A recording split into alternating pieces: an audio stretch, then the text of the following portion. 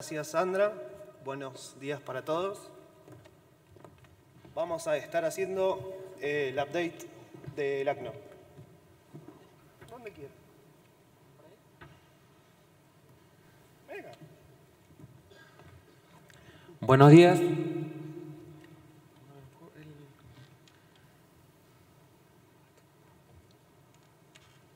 Bueno, vamos a presentar un poquito un reporte lo que hemos hecho durante este tiempo eh, LACNOC.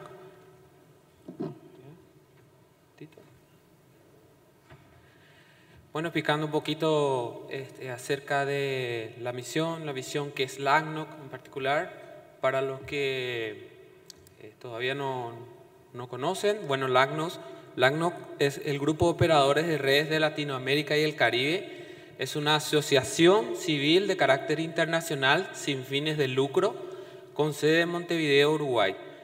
Está conformada este, por los actores encargados de operar las redes de Internet de la región y eh, fue recientemente incorporada en abril.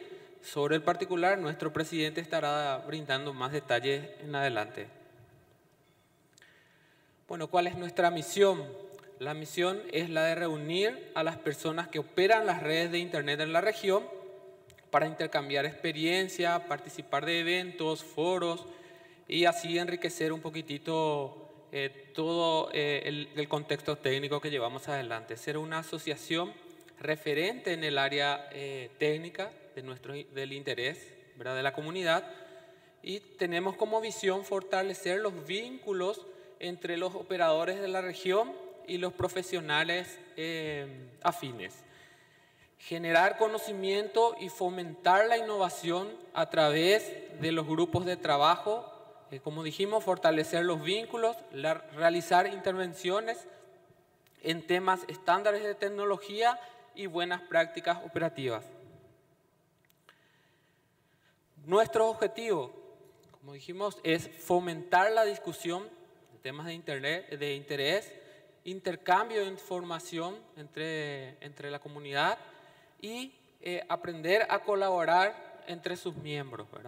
Así, eh, la idea es ir desarrollando y compartiendo recomendaciones de buenas prácticas, eh, responder a las necesidades de capacitaciones de operación, ayudar a, a, los miembros y a las entidades con, con la experiencia entre los grupos y obviamente participar activamente en las propuestas y desarrollo de políticas públicas en el área de, competencia para los países de la región. Bueno, esto es muy importante, la cultura organizacional, eh, como dijimos, eh, es un grupo de trabajo donde sus miembros y equipos de trabajo lo realizan totalmente en forma voluntaria, todas sus acciones, la mayoría de las actividades las realizan en forma no presencial y eh, a distancia, obviamente, ¿verdad? Respetamos y fomentamos la diversidad cultural, la comunicación efectiva y el comportamiento, ético entre sus miembros eh, específicamente, ¿verdad? Eh, nuestros compromisos, la excelencia, el servicio a la comunidad, la innovación, la honestidad y la responsabilidad a la hora de llevar a cabo un trabajo. ¿Cómo está conformada la, eh, la, estructura de la organización? ¿Cómo son sus miembros? Bueno, la, eh, los componentes de la organización están basados en el comité de programa, quienes son los encargados de los contenidos a desarrollarse durante los eventos, el directorio que realiza la dirección ejecutiva de la organización, los grupos de trabajo, quienes son los que realizan o trabajan en las temáticas específicas de interés en la comunidad y obviamente la comunidad, el valor más importante que son todas las personas que interactúan con nuestros servicios. Los miembros de directorio actualmente eh, tenemos al, señor presidente Ariel Edmundo Casares como vicepresidente. En la secretaría eh, me encuentro yo, Hernán Franco. Nuestra tesorera es Erika Vega. Guillermo Sicileo, eh, secretario segundo, Galván Recente es el tesorero segundo y Jorge Lam se encuentra como vocal. En el comité de programa lo tenemos a Jorge Villa, Carlos Martínez, Hernán Mobileski, Jaime Olmos, Marcela Orbiscay y Gustavo Mercado. En la coordinación, una tarea muy importante eh, para toda organización, la tenemos a Lía Solís como manager y a Carmen Denis como secretaria eh, de la organización. Ahora voy a darle la palabra un poquitito a nuestra compañera Erika para que pueda continuar con la presentación en cuanto a los servicios.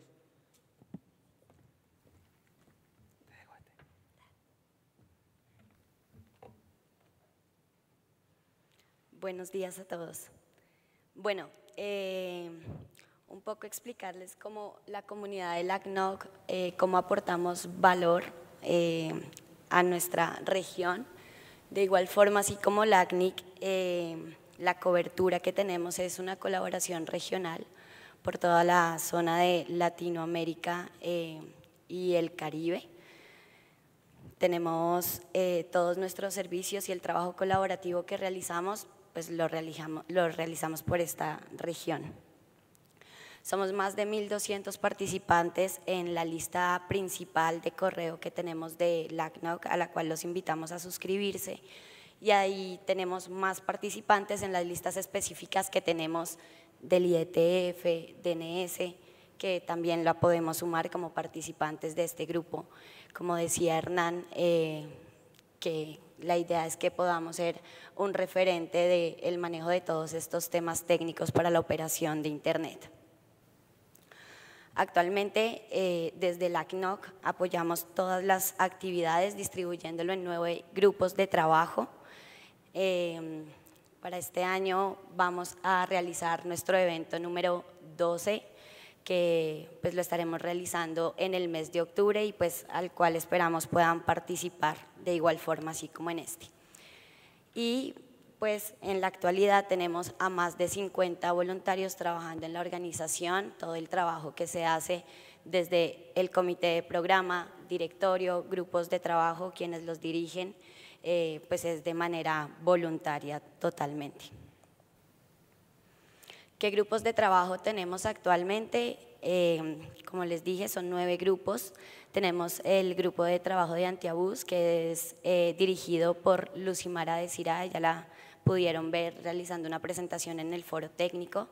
Tenemos el grupo de trabajo de buenas prácticas, el DIVICOP, que es dirigido por Ariel, el de capacitación, que es dirigido por Guillermo Sicileo, el de NOX, en el cual nos apoya Carlos Martínez y Cristiano Flaherty, tenemos el grupo de trabajo de DNS que es dirigido por Hugo Salgado, que no está presente, pero también lo pudieron conocer en una presentación que hizo en el foro técnico.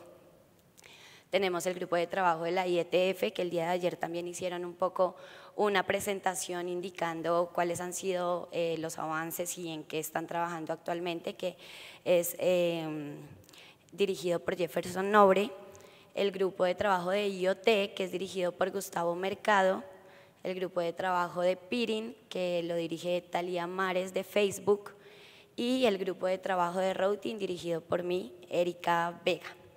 La idea es que estos grupos de trabajo ustedes también como comunidad puedan hacer parte. Desde los grupos de trabajo es desde donde pues, se, se, hacen todas las colaboraciones que solicitan las diferentes entidades y digamos que creemos que desde estos grupos de trabajo es desde donde aportamos más valor a la comunidad. Los que quieran unirse a cualquier grupo de trabajo pueden acercarse a eh, las personas que lo dirigen y pues averiguar cómo pueden trabajar en conjunto para aportar a la comunidad, que son grupos totalmente abiertos. Van a encontrar más información a detalle de lo que es LACNOC y en lo que estamos trabajando en nuestra web, lacnoc.org. Eh, y allí, bueno, está toda la información de este resumen que les estamos haciendo el día de hoy. Voy a darle la palabra a nuestro presidente Ariel Weger para que ya les comente un poco más en detalle esta parte importante de nuestros estatutos luego de nuestra conformación eh, este año en el mes de abril. Gracias. Bueno, yo les, les voy a contar eh, las novedades de la incorporación. Em, cuento un poquito un, preámbulo. Eh, LACNOG siempre funcionó por debajo del, paraguas de, de LACNIC. Eh, ellos eh, históricamente han colaborado muchísimo, nos han eh, ayudado muchísimo en lo que es la organización de los eventos y en, un montón de actividades que hemos ido haciendo a través del tiempo. Pero bueno, llega un momento en donde como organización formal necesitamos realmente tener una personería propia, así que la incorporación se realizó hace poquitos días en la ciudad de Montevideo Ahí estamos con Cristiana Flaherty de ISOC, eh, firmando lo que es el estatuto. Eh, fue el, 19 de abril del mes pasado. ¿Qué datos? Eh, para no hacerlo demasiado largo, bueno, el estatuto es bastante extenso. En breve, cuando se termine todo el proceso formal, lo vamos a estar poniendo en la página web, como, como históricamente se hizo con el que no estaba realmente oficialmente homologado.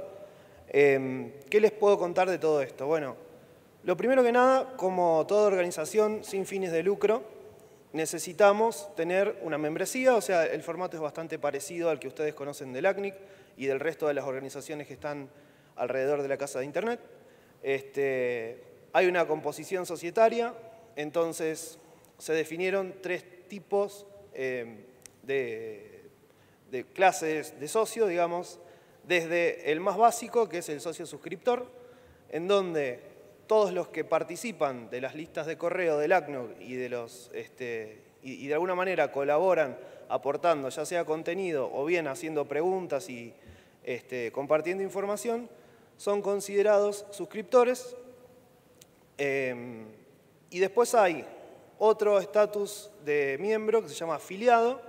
El afiliado se creó eh, para las organizaciones o las personas que quieran hacer cualquier tipo de contribución, ya sea económica o de servicios o de cualquier cosa que sea, y eh, para que podamos de alguna manera destacarlos adentro de la organización.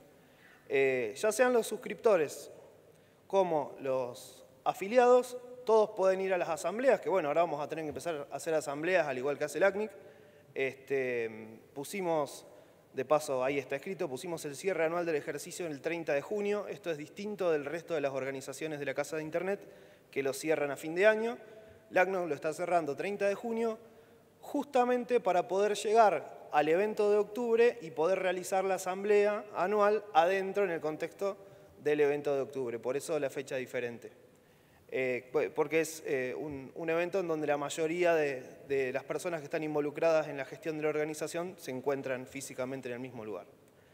Eh, finalmente, en la composición societaria están los socios, que son los que votan y los que tienen, o sea, todo el mundo tiene voz en la asamblea, pero los socios son los que finalmente votan.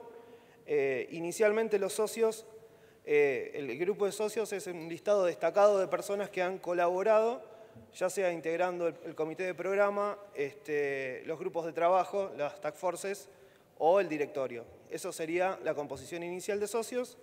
Eh, y bueno, y después hay un proceso por el cual eh, los suscriptores pueden ir pasándose a ser afiliados y esto lo cuento así porque en realidad la ACNOG es una organización que no requiere membresía paga.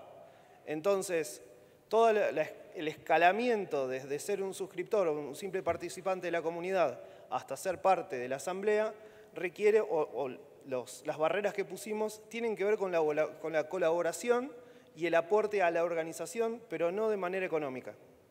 Eh, esperamos de que eh, la gente que llegue a ser socio pleno y a poder votar en la asamblea sea gente que haya colaborado, consiguiendo trabajos para presentar, haciendo eh, laboratorios y ya saben todas las cosas que, el ACNUC hace en, su vida cotidiana. Em, bueno, les dije, la asamblea anual va a ser en el próximo evento de octubre. Vamos a tener ahí una comisión fiscal y una comisión electoral. Inicialmente la comisión fiscal va a estar conformada por Thomas Lynch, em, acá presente, por Israel eh, Rosas, que ojalá que nos esté mirando desde su casa, y por Nicolás Antonielo.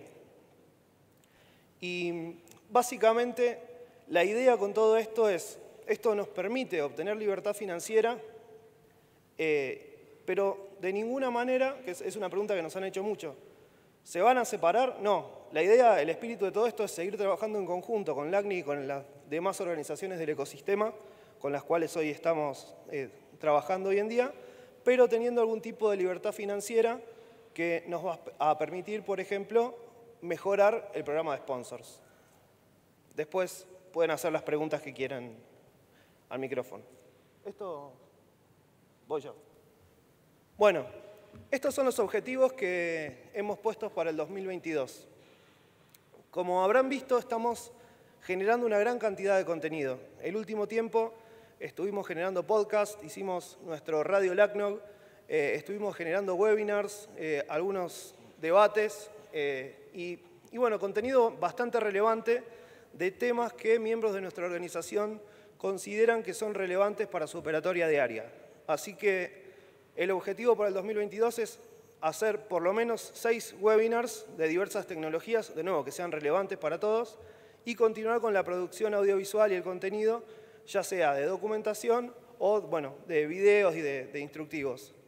Eh, LACNOG está haciendo o está generando bastante contenido, de hecho tenemos eh, un, repositorio de código en, GitHub, no sé si lo conocían, github.com barra en donde hay varios proyectos interesantes, entre ellos hay algunos scripts eh, y algunos, eh, tutoriales de cómo instalar los validadores de RPKI y algunos, algunas cosas más acá hechas por el, ingeniero Martínez.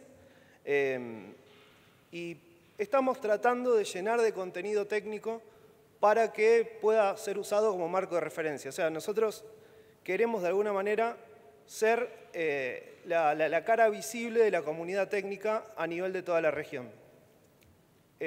dentro de los objetivos bueno, seguir gestionando alianzas estratégicas con otras organizaciones, fortalecer la imagen, institucional, participar de los eventos y proyectos, eh, participar en, cuestiones de gobernanza de Internet, donde hoy LACNOC no, no está tan metido, potenciar la participación de la comunidad técnica en los asuntos del proceso de desarrollo de políticas del LACNIC también es uno de nuestros objetivos, porque a fin de cuentas todo lo que pasa ahí termina afectando a los operadores y nosotros como representantes de los operadores queremos de alguna manera que esta comunidad se pueda involucrar más en el proceso de desarrollo de las políticas que las afectan directamente.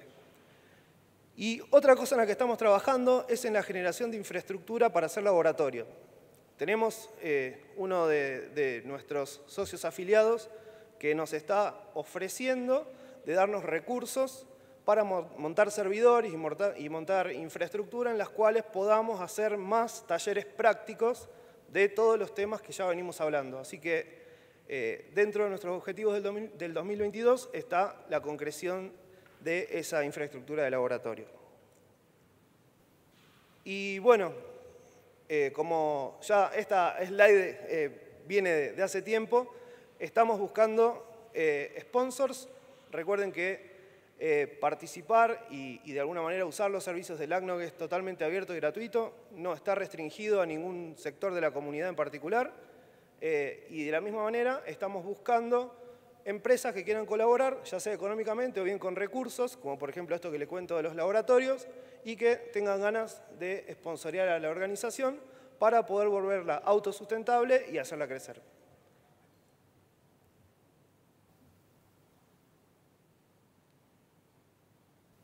Eh, bueno, eh, es hasta acá. Eh, les agradezco muchísimo a mis colegas que, que presentaron súper bien, al resto que está acá en la sala, y no sé si tienen alguna pregunta.